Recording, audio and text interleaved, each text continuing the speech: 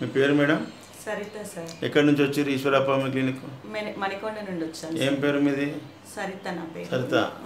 ఏం ప్రాబ్లంతో వచ్చారు ఈశ్వరప్ప క్లినిక్? నాకు మైగ్రేన్ ఉంది సార్. మైగ్రేన్ ఎన్ని సంవత్సరాల నుంచి ఉండే? సిక్స్ సెవెన్ ఇయర్స్ నుండి ఉంది సార్. సిక్స్ సెవెన్ ఇయర్స్ నుంచి ఏం మందులు వాడిరు నేను అల్లోపతి వాడాను సార్ ఎక్కువగా. హెడ్ సైట్ అని టాబ్లెట్ యూజ్ చేసేదాన్ని. ఇంకా అసలు వన్ మంత్కి ఒక ట్వంటీ డేస్ సఫర్ అయ్యేదాన్ని. తర్వాత ఇక్కడికి వచ్చాక నాకు వన్ మంత్లో రిలీఫ్ అనిపించింది సార్. ఈశ్వరప్ప క్లినిక్ వచ్చినాక వన్ మంత్లో రిలీఫ్ వచ్చేసింది. హోమియో వాడాక నాకు కొంచెం వన్ మంతే వాడిరు ఇప్పుడు? వన్ మంత్ వన్ మంత్లో మరి వాడినాక ఎన్ని రోజులకు మీకు ఎఫెక్ట్ కనిపించింది? నాకు ఒక టూ వీక్స్ కలా తెలిసిపోయింది సార్. టూ వీక్స్లో తెలిసిపోయింది.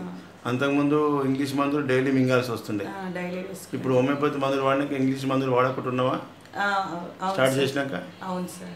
మింగకుండా హోమియోపతి మెడిసిన్స్ మీదే ఉన్నావు. మరి ఇప్పుడు బెటర్ ఫీలింగ్ ఉన్నది.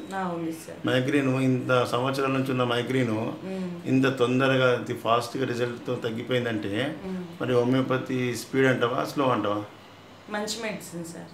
మంచి మెడిసిన్ స్పీడేనా స్లోనా అలోపతి నాలుగు సంవత్సరాల నుంచి వాడిన తగ్గగానేటువంటి మైగ్రేన్ హోమియోపతిలో విత్ ఇన్ ఫిఫ్టీన్ డేస్లో తగ్గింది వన్ మంత్లో మంచిగానే అంటే. మన స్పీడ్ అన్నట్టే కదా? మరి హోమియోపతిని ప్రజలకు అవగాహన లేక హోమియోపతి చిన్న గోళీలు ఉంటాయి కదా. తీపి గుళికలు చిన్నగా ఉంటే మెల్లగా పనిచేసిన పబ్లిక్లో ప్రచారం ఉన్నది. అది తప్పు. హోమియోపతి చిన్న గొరిలాలోనే పవర్ ఎక్కువ ఉంటుంది. పొటెన్సీ ఫామ్లో ఉంటుంది. ప్రజలకు ఈ అవేర్నెస్ కోసమే మీ ఇలాంటి అనుభవించిన వీడియో తీసుకుంటున్నా. హోమియోపతి అనేది చాలా స్పీడ్ యాక్షన్. ఎలక్ట్రానిక్ మైక్రోస్కోప్ లెవెల్లో ఉంటుంది.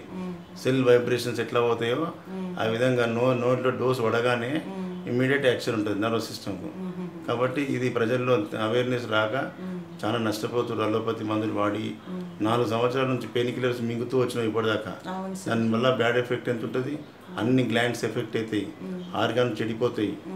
మరి అలాంటి బ్యాడ్ ఎఫెక్ట్ కాకుండా ఇంత సింపుల్గా హోమియోపతి తగ్గింది చూడు. అవును సార్. కాబట్టి ప్రజలకు ఇది మీ యొక్క అనుభవం ప్రజలకు తెలిసేటట్టు చేస్తా ఓకే సార్. థ్యాంక్ యూ అమ్మా.